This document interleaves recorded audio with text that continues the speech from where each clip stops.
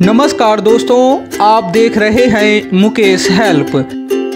दोस्तों, आज की इस वीडियो में हम चलेंगे हरिद्वार के प्रसिद्ध और प्राचीन मंदिर में, जिसका नाम है दक्षिण काली मंदिर, जो कि हरिद्वार के प्रसिद्ध मंदिरों में से एक है। दोस्तों, अब हम चंडी पुल पहुँच चुके हैं, थोड़ी देर में मंदिर तक पहुँचने वाले हैं। सामने दिख रहे नील पर्वत के पास ये मंदिर स्थित है। नील पर्वत शिखर में हरिद्वार का एक और प्रसिद्ध मंदिर है, जिसे चंडी देवी मंदिर कहते हैं। मैं आपको बता दूँ, दक्षिण काली मंदिर चंडी देवी मंदिर की तरह पर्वत शिखर पर नहीं है, बल्कि प्लेन स्थान में है।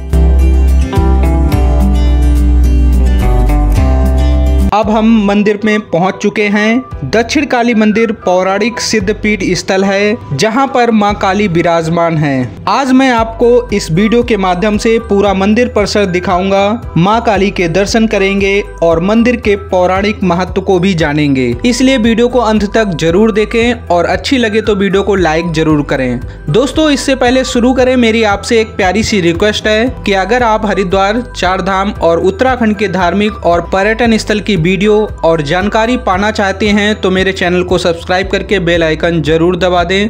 दोस्तों इंस्टाग्राम में भी फॉलो ज़रूर करें ताकि आप अपने सवाल पूछ सकें। अब शुरू करते हैं। दक्षिण काली मंदिर हरिद्वार के प्रसिद्ध मंदिर चंडी देवी मंदिर के पैदल मार्ग के पास स्थित है।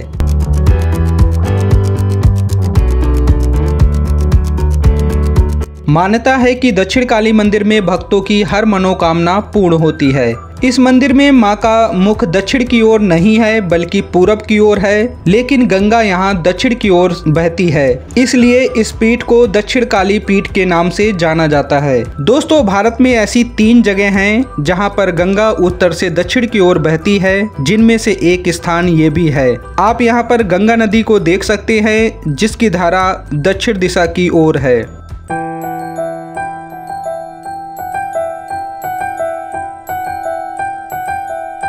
दोस्तों, अब आगे चलते हैं और माँ काली के दर्शन करते हैं। आप देख सकते हैं, माँ काली को शनिवार का दिन बहुत प्रिय है। यहाँ पर प्रसाद के रूप में नारियल, गुलाब पुष्प, काला जामुन चढ़ता है। दोस्तों, कहा जाता है कि इस मंदिर की खोज भगवान शिव के अनन्य भक्त, आदि गुरु कामराज ने की थी। इस पीठ की स्थापना विक्रम संवत तीन सौ इक्यावन में हुई। स्थानीय जानकार बताते हैं कि मंदिर की स्थापना बाबा कामराज गुरु ने की थी। कहते हैं कि काली माँ ने उन्हें स्वप्न में इस मंदिर की स्थापना करने का निर्देश दिया था। इस पवित्र मंदिर के बारे में कहा जाता है कि माँ काली का ऐसा मंदिर, या तो कोलकाता में है, या फिर यहाँ हरिद्वार में है। नवरात्रों के दौरान इस मंदिर में विशेष पूजा अर्चना की जाती है, और श्रद्धालुओं की बहुत ज़्यादा भीड़ होती है। दोस्तों, इस पौराणिक सिद्ध पीठ स्थल का वर्णन स्कंद पुराण में किया गया है। इस पीठ की रक्षा स्वयं भैरव करते हैं।